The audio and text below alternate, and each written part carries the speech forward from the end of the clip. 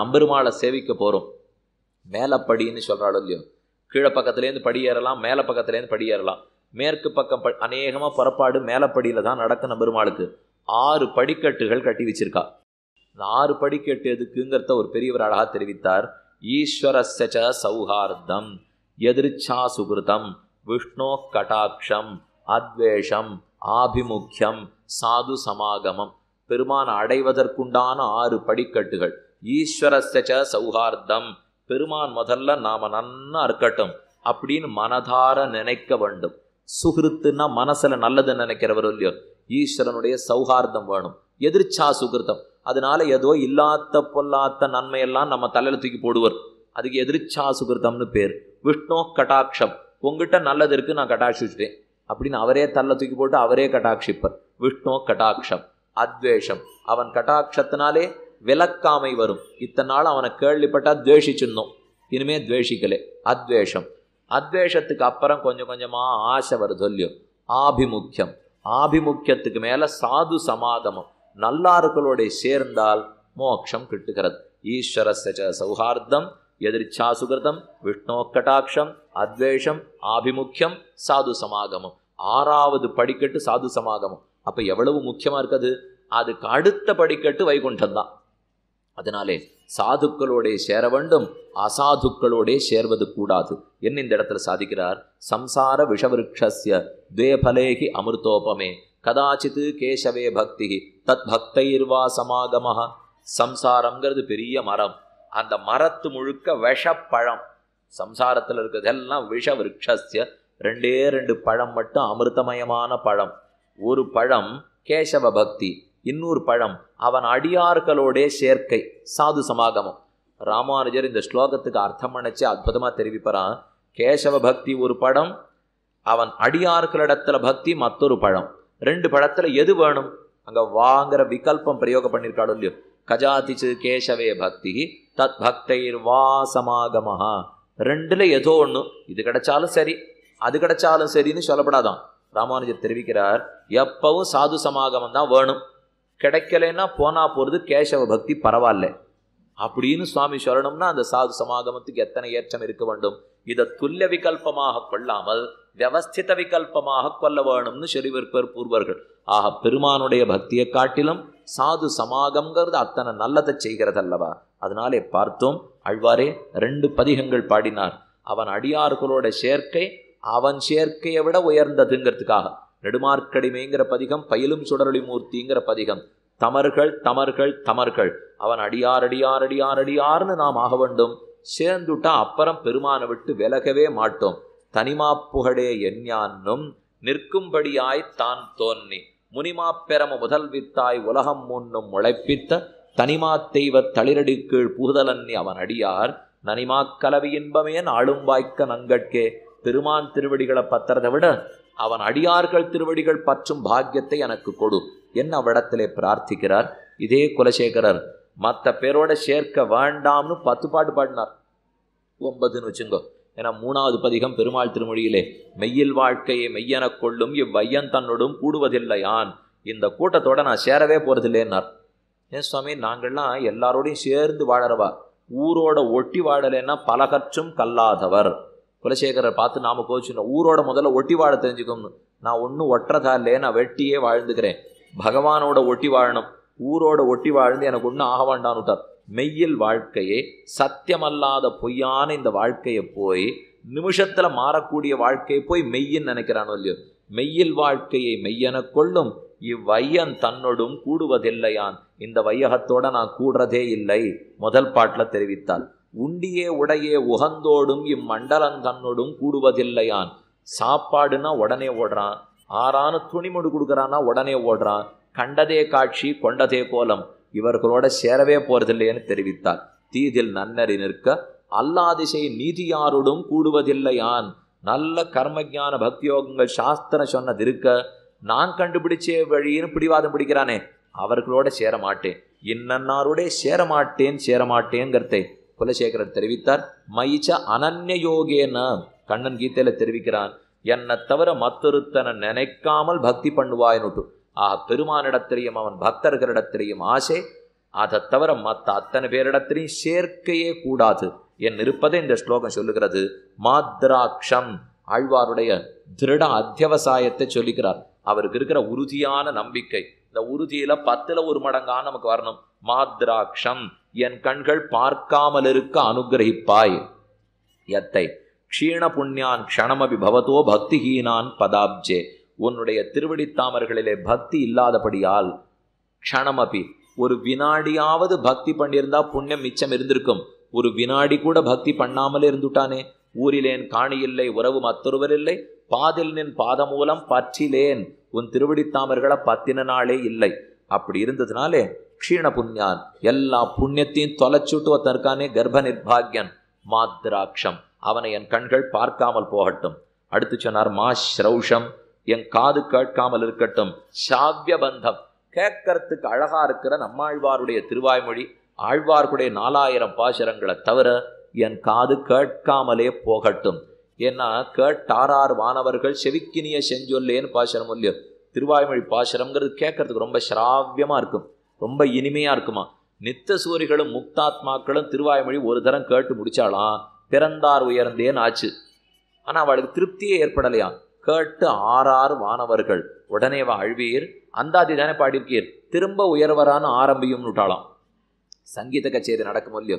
இதான் ரொம்ப முக்கியமான ராகத்தை ரொம்ப வசத்தியாக பாடியிருந்தா பின்னாடிலேயும் தோத்தர் இன்னொரு தரம் அப்படின்னு கேட்குறாளோ இல்லையோ? அதை போல நம்மாழ்வார் ஒரு ஒரு தரம் பாடி முடிக்க சேவும் உடனே ஒரு நித்தியசூரி எழுந்திருந்து இன்னொரு தரம். அப்படின்னு கேட்பறான். கேட்ட ஆறாறு வானவர்கள் செவிக்கினிய செஞ்சொல்லே. அப்படி இருக்கிற ஸ்ராவிய பந்தம் செவிக்கினிய திருவாய்மொழியை கேட்கிறதை தவ சரித்தம் உன் சரித்திரத்தை கேட்கிறதே அபாஸ்ய. அதை தொலைச்சுட்டேன். தொலைச்சுட்டு அந்நத்து ஆக்கியாத ஜாதம் வேறேதோன்னு போய் என் காதுகள் கேட்காமலே போகட்டும். உயர்ந்த காலக்ஷேபங்கள் காதல படட்டும். சாஸ்திரோக்தமாய் பூர்வாசாரிகள் சொன்ன வியாக்கியானத்தோட பூர்வாசாரியர்கள் போதம் அனுட்டானங்கள் கூறுவார் வார்த்தைகளை கொண்டு நீர் தேறி. என்று முன்னோர் மொழிந்த முறை தப்பாமல் கேட்டு பின்னோர்ந்து பேசுகிறார்களே அந்த வார்த்தைகள் என் காதிலே விழட்டும். பகவன் நாமங்கள் என் காதிலே விழட்டும். மற்றவைகளை மா ஸ்ரௌஷம் என் காது கேட்காமலே போகட்டும். பேசின்றிருக்காம் பரீட்சித்து மகாராஜன் சுகாச்சாரியரோடே நிறைய கதகதையா சுகர் சொல்லுண்டே வந்தார். ராமாவதாரம் வந்தது விபுலமாக சொன்னார். கிருஷ்ணாவதாரம் வந்தது ஒன்பதாவது ஸ்கந்தம் கடைசி ஸ்ரீமத் பாகவதத்திலே சுருக்கமாக கிருஷ்ணாவதாரத்தை சொல்லிட்டு நிறுத்தி விட்டார் உடனே பரீட்சித்து கேட்டான் யார் யார் கதையோ இவ்வளவு விவரித்து சொல்லிவிட்டு எங்கள் தாத்தா கதை வரைச்சே நிறுத்திவிட்டீர் பத்தீரா? அர்ஜுனன் கதையை சொல்ல வேண்டாமா? இன்னைக்கு நான் உயிரோடு இருக்கிறதே அந்த கண்ணனுடைய திருவடி ஸ்பரிசத்தாலே அந்த கதையை நன்னா சொல்ல மாட்டீரான்னு கேட்டான். சுகர் சொன்னார் ஆயிடுத்து பன்னெண்டு ஸ்கந்தத்தில் ஒன்பது ஸ்கந்தம் முடிச்சுட்டேன் எனக்கு ஒன்றும் இல்லை. இன்னும் தொண்ணூறு ஸ்கந்தம் சொல்லுனாலும் நான் சொல்லிட்டு இருப்பேன் நீ ராஜா உனக்கு பசி தாகம் தூக்கம் இருக்குமே அதுக்கு தான் சுருக்கமாக சொன்னேன்னார்.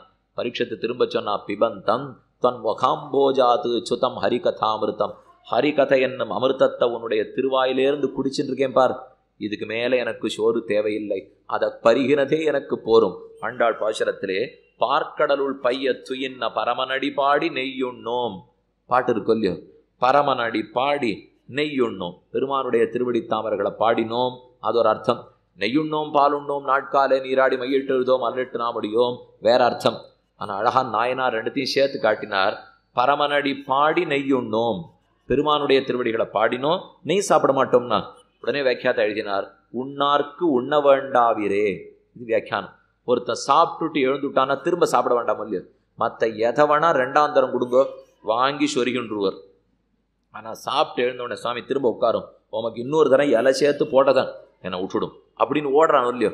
சாப்பிட்டவனுக்கு நிச்சயமாக திரும்ப சாப்பிட முடியாது. அதே போல் பரமனடி பாடி பெருமானுடைய திருவடி தாமரைகளை பாடினதே சாப்பிட்டது. அப்புறம் நெய்யுண்ணோம் பாலுண்ணோம்னு சொல்லவே வேண்டாம் இப்போ. நெய்யை சாப்பிட்றதுக்கு தோணாது திகட்டுமே. எப்போ பெருமானுடைய திருவடிகளையே நெய்யும் பாலுமா சாப்பிட்டாச்சோ அப்போ தனித்து இன்னொன்று சாப்பிட வேண்டிய தேவையில்லையே. பரமனடி பாடி நெய்யுண்ணோம் பாலுண்ணோம் நாட்காலே நீராடி. ஆக பெரியோர்களுடைய திருவாக்கென்னும் அமிர்தத்தை பருகிவிட்டால் அதை தவிர மத்தொன்னை இந்த காது கேட்பதே கூடாது. ஜனமேஜயன் வைசம்பாயனர் ரெண்டு பேரும் பேசிக்கிறான் மகாபாரத கதையை வைசம்பாயனர் ஜனமேஜயனுக்கு சொல்லணும்னு ஆசைப்படுறார். ஜனமேஜயன் அர்ஜுனனுடைய வழித்தோன்றல் பாண்டவர்களுக்கு பின்னாடி பிறந்தவன். ஆனால் அவனும் ராஜாவாக இருக்கான். வைசம்பாயனர் எத்தனை பிரயத்தனப்பட்டாலும் மேடையே கொடுக்க மாட்டேங்கிறான். அதெல்லாம் எனக்கு நாழி இல்லை. நீர் பாட்டுக்கு ஒன்னே கால் லட்சம் ஸ்லோகம்லாம் சொன்னால் ஆறு கேட்கறது. முடியாதுன்னுட்டான் ஜனமேஜயர் சொன்னார் இப்போ வேஷம்பாயனர் ஜனமேஜயனை பார்த்து சரி பதினெட்டு பருவாருக்கு ஒரே ஒரு பருவம் சொல்லிட்டு போகிறேன் கேளுன்னார். முடியாதுன்னுட்டான் ஒரு அத்தியாயம் முடியாது. ஒரே ஒரு ஸ்லோகம். சரி பெரியவர் ரொம்ப கெஞ்சரார் போனா போகிறது ஒரு ஸ்லோகம் சொல்லிட்டு எழுந்து போம். ஒத்துனுட்டான் ஜனமேஜயன். வைஷம்பாயனர் சொன்னார் ரெண்டு பேர் அறிவிலிகள். ஒரே ஒரு ஸ்லோகம் தான் சொல்ல போகிறார் அவர் இப்போ. தசானனன் சுயோதனன். ரெண்டு பேரும் அவரவர்கள் விரோதிகளுடைய பராக்கிரமத்தை முன்னாடியே பார்த்துருந்தும் திரும்ப சண்டைக்கு வந்தாலே அறிவிலிகள். ஒரு ஸ்லோகம் ஆயிடுது. நான் போயிட்டு வரட்டுமா? கேட்டார் வைசம்பாயினர். ஜனமேஜயன் சொன்னா யார் அறிவிலி?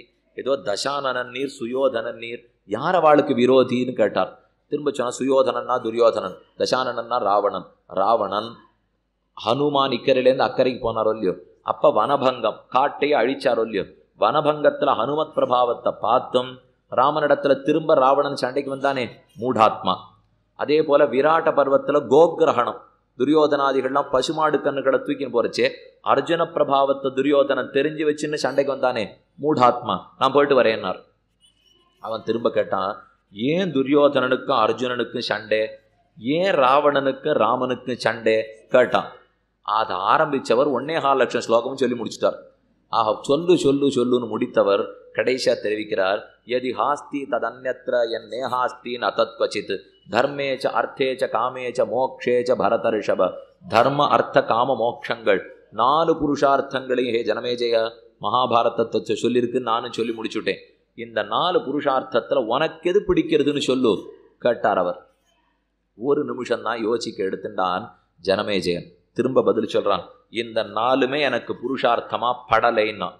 பின்ன நீ அஞ்சாவது கண்டுபிடிக்க போறியா? கேட்டார் வைசம்பாயினர் இல்லை எனக்கு தெரிஞ்ச புருஷார்த்தம் எது தெரியுமோ? இப்படியே தேவரீர் சொல்லுண்டே இருக்கணும்.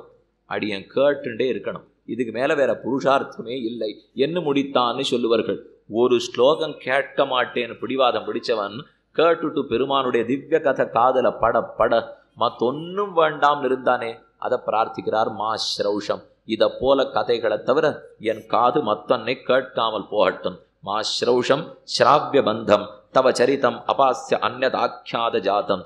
இது எதையும் காதல போட வேண்டாம். மாஸ் மாருஷம் மாதவ இ மாதவ பிராட்டிக்கு கள்வனே. மாஸ் மாருஷம் தேஜஸ் சேதசா. என் மனசால நினைக்கவே வேண்டாம்.